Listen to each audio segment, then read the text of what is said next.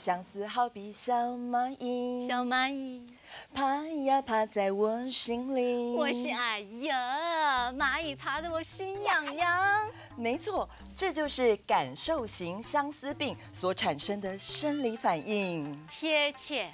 还有一种呼喊型，怎么呼喊？再唱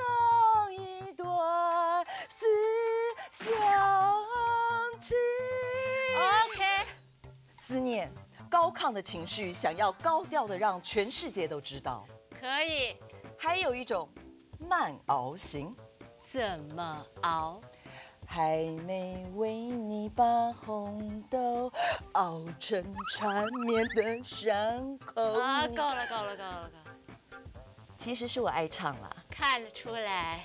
宋朝有位词人李清照，哎，十八岁的时候嫁给二十一岁的赵明诚，两人第一次邂逅是在相国寺。相国寺。没错，是当时京城最热闹、最繁华的地方。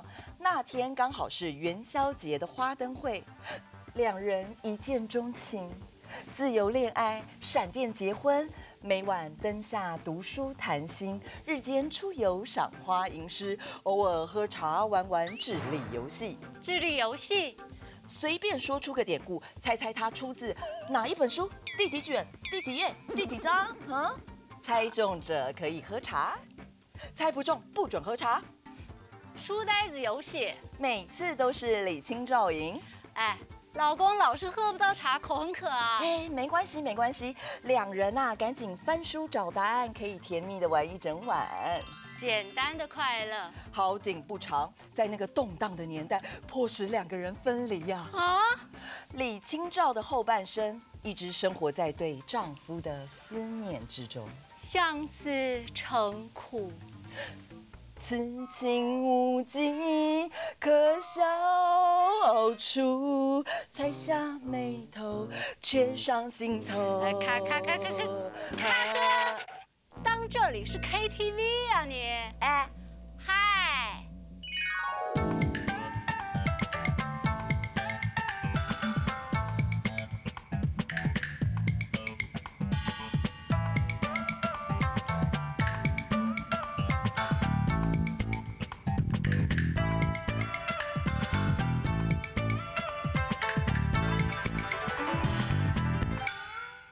红藕香残玉簟秋，轻解罗裳独上兰舟。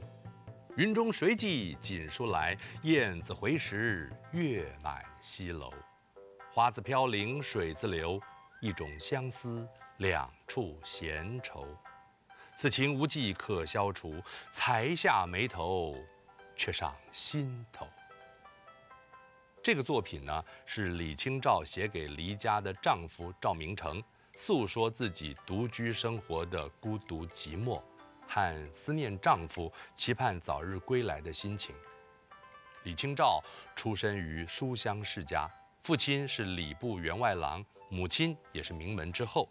在这样的家庭中成长，李清照深受文化熏陶。知否，知否？李清照少女时期就写下流传千古的《如梦令》，奠定才女的地位。十八岁嫁给了赵明诚，两人门当户对，又郎才女貌，成为一段美谈。他们的感情深厚，一起作诗，共同研究金石印鉴，搜集整理名人书画。生活安定，所作的诗词多为相思闺怨之作，清新婉约。赵明诚突然病逝，金兵入侵，故乡沦陷，李清照悲痛欲绝，幸福的生活从此结束。战乱中，夫妻俩的收藏品大量的散失，半生心血付诸东流。李清照饱受战火摧残，生活转而困顿凄凉，她的作品也转为哀怨凄苦。张汝舟觊觎李清照手上的文物来骗婚，婚后发现李清照不愿意转让文物，就对他家暴。李清照不堪折磨，向官府告发张汝舟欺骗的行径。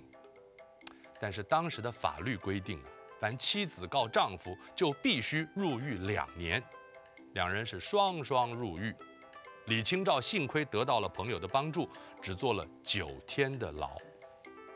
历经国破家亡、暮年飘零之后，他的词风转为凄怆沉郁，多写颠沛流离之苦、孤独无依之悲，写尽了自己流落异乡又无依无靠的苦闷和忧愁。